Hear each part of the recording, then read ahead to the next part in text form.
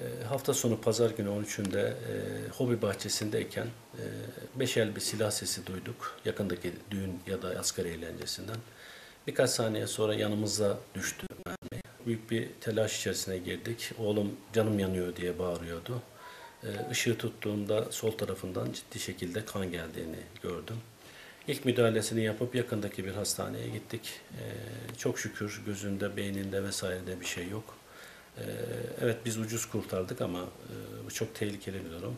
E, Çok şükür ki şu an bizde bir şey yok. E, Ama birilerinin eğlencesi bizim matemimiz e, olabilirdi. O yüzden düğünlerde, e, eğlencelerde bu tip olayların yaşanmaması için silah atılmadan eğlence yapmayı ben insanlara tavsiye ediyorum. Canım çok acımıştı o olay olduğunda. Gözlerim bulanıklaşmıştı, kulaklarım çınlamıştı. Ee, birden kanlar akmaya başladı sol tarafımdan. Yani bayağı acıdı. Sonra bayağı endişelendim. Peki bir mesaj vermek ister misin? Silah atmayın. Yani başka insanların bu durumlarda olması hiç iyi değil. Yani silahların atılmamasını istiyorum.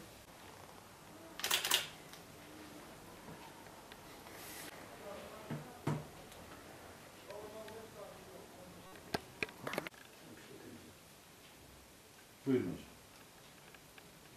Doktorlarla görüştük. Gerekli müdahale